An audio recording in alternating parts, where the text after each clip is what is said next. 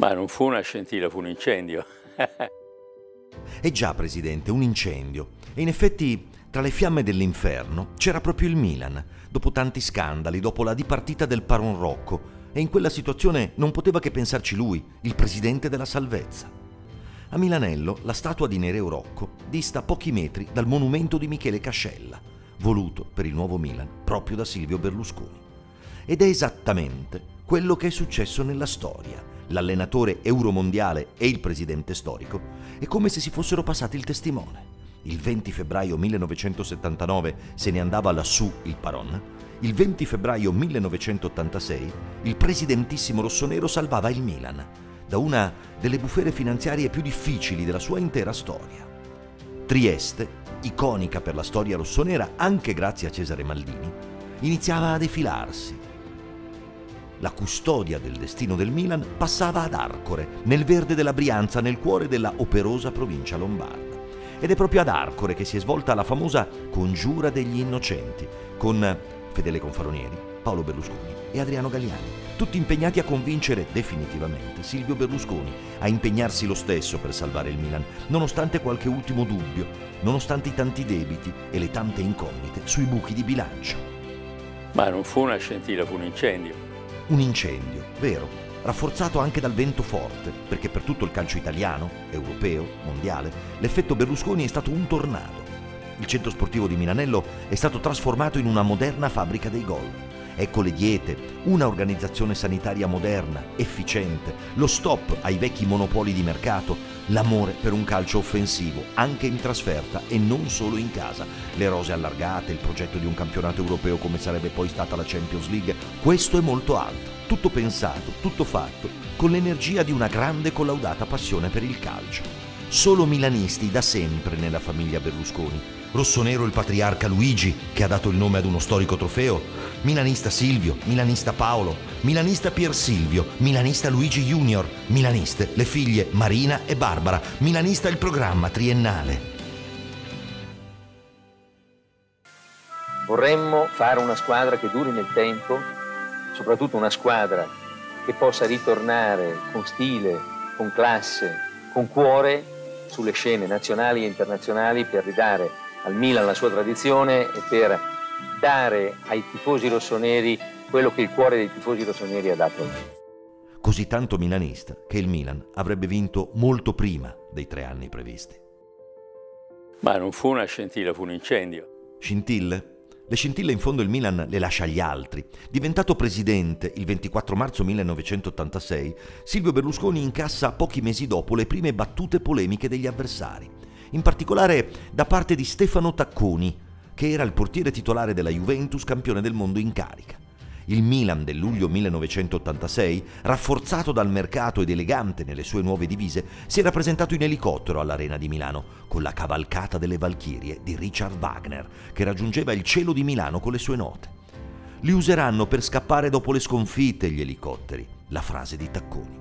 Il Milan, naturalmente, non replica, si mette in gioco, in discussione, fino alla prima qualificazione in Coppa UEFA un anno dopo, grazie allo spareggio di Torino contro la Sampdoria. Forse la cavalcata delle Valchirie era stata troppo forte come presentazione, ma il primo luglio 1987, al castello di Pomerio, a Erba, sempre in Brianza, i toni sono diversi. Non è un Milan trionfalistico, ma un Milan strutturato, determinato, al quale Silvio Berlusconi affida la sua mission vincere tutto in Italia, in Europa e nel mondo, convincendo sul piano del gioco, nel rispetto del pubblico, dell'arbitro e degli avversari.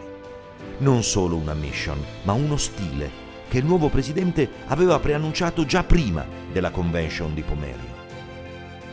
I milanisti ne rimangono ipnotizzati e forse anche un po' gli avversari. Ma non fu una scintilla, fu un incendio. Dovevano essere solo scintille invece gli anni di crescita e programmazione prima di tornare a vincere dovevano essere tre, ma al primo anno è già scudetto.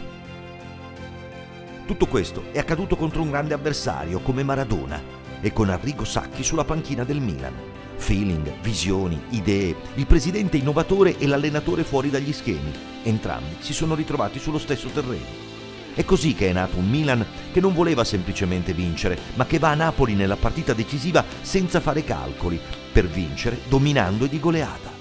trovammo in Arrigo Sacchi qualcuno che ci dava delle garanzie circa eh, il modulo di gioco, il comportamento in campo, la capacità di tenere insieme il gruppo, di formarlo con obiettivi precisi. I Milan di Silvio Berlusconi sostanzialmente sono stati tre.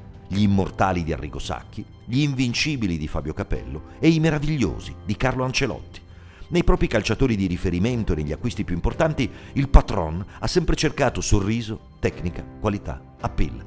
Se c'erano tutte queste caratteristiche, allora partiva il classico vai e colpisci, rivolto ai propri dirigenti di mercato. Nascevano così i palloni d'oro di Gullit e Van Basten, di Shevchenko e Kakà, belli, forti, vincenti, come Baresi, Franco, io e te lasceremo insieme, la frase di sempre come Paolo Maldini, quando si è fatto male alla spalla nella finale mondiale, ero preoccupato, come per mio figlio. Aveva detto Silvio Berlusconi dopo Milan Olimpia Asunción di Tokyo nel 1990.